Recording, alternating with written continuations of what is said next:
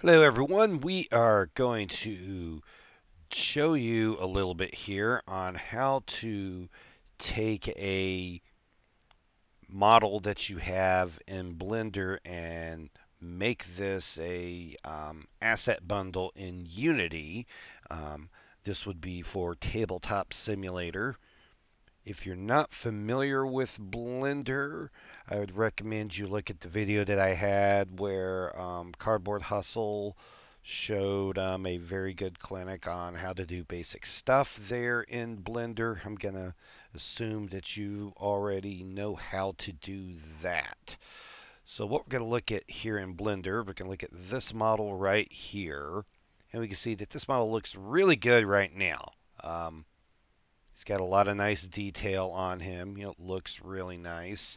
And if we go over here and look at how many faces we have, he sees that he has 465,000 polys, which is way too many for um, tabletop simulator to run. You're going to need to shrink him down a good bit here. Um, we're going to need to do something like 0.09% to get it down to a number that it can do. So we'll go ahead and drop the polys down on this and we'll wait on my computer to do its work here. And you can see now that while the poly count is now acceptable and just kind of barely acceptable there, we can see that he's gotten very, very blocky looking here and that this is not a good look here. And so if we were going to export this as an OBJ, this is what it would have to look like to go in there. Well, can we do this without having to do that? And the answer is yes. We are going to use a program called Unity. So let me show you how to find Unity. We're going to start off at the tab, tabletop simulator knowledge base, we're going to look for the um, stuff here on the custom asset bundles. And this is going to show us where we need to download some things. And I'll show you what you need to download.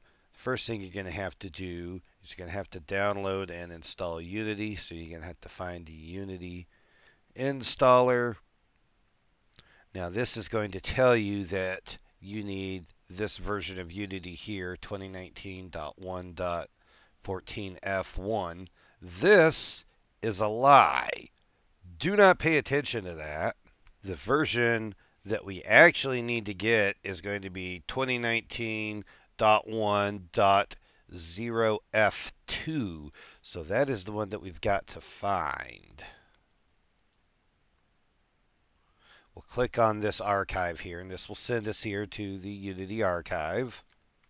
And what we're going to do is instead of downloading the version that they told us, we're going to go down here. There's a lot of versions of Unity here. I may have to actually search for this here. There we go, 2019. Once again, 2019.1.0f2. So right here we will get this 2019.1.0. This will be the one that we will get. Don't get the one that it says there on the Tabletop Simulator website there. That won't be the right one. Download this one for whatever operating system you're in. I'm showing you how to do stuff on Windows. If you're using Mac or Linux, you're going to have to figure out stuff on your own and you can download it. This will take it some time. Once you get that downloaded, the next thing you're going to need to do is to download a custom project, and then you will open that in Unity once you get it installed. That project can be found here at GitHub. We'll click on that, and you'll see this pop up. You're just going to want to download. Do that, and we'll go to download zip, and you will download it. And that's what you have going on there. And that's the two things you'll need. And once again, just make sure that you get that version that I told you, not the version here that you'll see on the Tabletop Simulator knowledge base. That's going to tell you a version of Unity, but that version of Unity is not right. Not 1.14, but 1.0. Okay, once you get Unity installed, you're going to see this Unity Hub pop up. If you can have different versions of Unity installed to have different things, we are not going to want to make a new project here. We're going to want to add the project in here that you want to get. So we're going to click Add. Then you're just going to select the, after clicking Add, you're just going to select the folder that you put it in, and it will put that up here and have that right there for you. Then you can just click that, and it will open up. Okay, Unity is a big program. It's going to take it a little bit to open up here. I'm just going to show you the basic workflow you have to do to get this all installed in here. So we'll want to import an asset in here. Of course, we'll need to go back to Blender. We're going to need to file and export this. We're going to want to make sure this is all joined together. Make sure you have your origin point and everything where you want it. Let's export this as an OBJ. Right here, just in the root drive of D there, just to make it easy for me to find it. It's going to take you a little bit of time to save there, as you can see with this cursor. I'm not responding. Oh, now we are. Okay, now we're going to here, right click, import a new asset, go to my D drive, there's the SAM project OBJ, and we'll import it. It'll take it a little bit of time to import. This is okay. These are big files. Okay, it'll show up and you'll see it here now. So let's go drag him right up into here. There he is. You can see him, you know, maneuver around and what all. Looks like he's there good. Yay. Now we could straight up just um, send him out um, into um, Tabletop Simulator exactly as he is right now if we wanted to we would just right click, we would just click on SAM project there. We'd right click it. We are then going to create, and this will be a prefab variant. Now we'll click on the prefab. Now we click on the prefab variant the asset bundle. We're going to make a new one. I was working on some stuff earlier, so you can see those. We're going to make a new bundle, and we're just going to call this SAM Project 1. Just for that. We click it, we will see it there. So now we could just right click out here somewhere, go to Build Asset Bundles. It's going to look like it's doing nothing for a second here. Then it's going to start doing stuff and it's going to actually build the asset bundles. So let's see if we can get Tabletop Simulator open and see what this looks like once we get into Tabletop Simulator. You look at Sam Project 1 to see that he is 6.8 megabytes. So he is um, way under that limit that you have for 20. Once again, as you're familiar with this here, we're going to create a game here. And we can essentially just make a single player thing and just close that and just use the basic table here. So we're going to objects, we're going to go to components, we're going to go to custom components, and we're going to go somewhere different. Normally you go to model to bring a model in. We're going to go to asset bundle. Drop it right there. Click our thing up there. Our main, we will click that. And now where you're going to find this is going to be where you, it's going to be in the folders there where you where you downloaded that to. So I have it under downloads, tabletop simulator, modding master, then asset bundles. And yeah, I've made a bunch of stuff here, but we are just looking for SAM Project 1. We're going to open that. It's going to ask me if I want to do it on the cloud, upload it to the cloud, or if I want to hit local. Let's go ahead and hit cloud, send him to the cloud. It'll take it a little bit of time to upload it here because it's going out to the internet. Okay, this is done, so we'll hit import.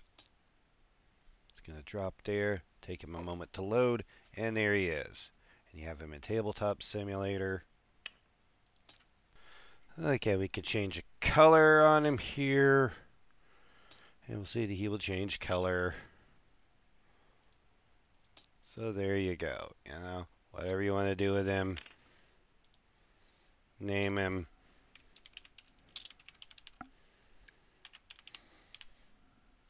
There you go. See, he's good there.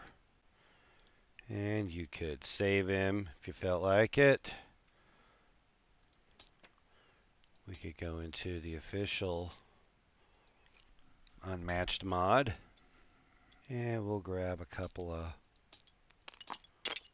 the official fighters here. Hey, where are you guys going? Come back. So we get these guys. We can drop them there. So we can objects and saved object and we'll grab this guy. And there he is. See? He's there. It's good height compared to the others. Yeah, it looks good. A lot sharper looking image than these guys. These are really nice. Nice here. Now, you may be like, okay, but I want it to be shiny. I mean, well, that's some other stuff that we can do in Unity. Okay, so first of all, let's go ahead and delete this prefab variant. Go away, you variant. We're going to work on this guy right here. Just double click that and do it. Okay. So we click him once here and highlight him. There we go. Once we get him highlighted orange, we can start doing stuff. Well, to add a collider is pretty simple. You can go to Add Component, go to Physics, you can add a box collider, which will let you make a square around it. You can select a capsule collider, which would let you put a um, kind of a little pill-shaped thing, a sphere collider, or you could do a mesh collider and add a custom one. To add a custom one, we're going to want to import an asset. You're going to need to bring in your collider. There's my collider.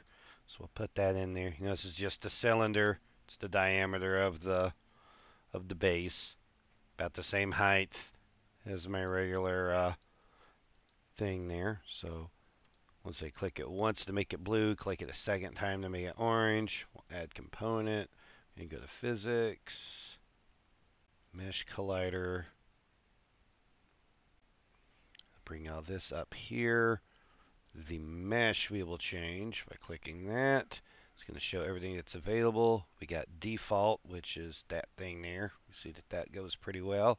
And there we go. See, he's got a collider now. Look at that. Let's just turn the... Could do that just to I mean, turn the collider on and off. I'm just getting it out of the way. Okay, so let's say we want to make this guy... We'll make this guy shinier because, you know, we don't like him being all matte like that. Well, we go here to materials, and you can play around with materials. You have some different ones in here. Let's just take plane, we just drag it, we drop it on them. Oh, look at that. That made him shiny. Now, you may not have that material specifically like that. Here, yeah, this right here under plane, which is what we added on it. We can play with this. You can see that changes things on him a good bit. Mm, see, now he's like a lot more matte. It's a lot shinier. Gives a little bit more of a look to it there. You can play around in here and do all kinds of stuff with them on that. We're not gonna. We'll do that, and then we're going to turn our mesh collider back on because we want the collider on. So, okay, now we go back here to assets. So what do we do now? Because we can't make a uh, thing from that, we need it to be this guy. Well, right here, we could select that, and you see that that highlights all that. So we'll drag that into there. And say, would you like to create a new original prefab or a variant of this prefab? Let's create a prefab variant. We'll click that. We'll do this. We're going to make a new one. We'll call this Sam. Oop. Sometimes it does this with the typing. It doesn't want to type in there sometimes. So weird little, there we go. weird little bug there. Project 2. Alright, so there's Sam Project 2. He should be shinier. Once again, right click. Build asset bundles. Boom. Nothing for a bit. And there now it's building. Yeah, we can see it's not much bigger at all. It's like 12k bigger to add the rest of that to it. Hey, Tabletop Simulator. Let's get these guys out of the way. Object. Custom. Asset bundle. Do that. Just like that.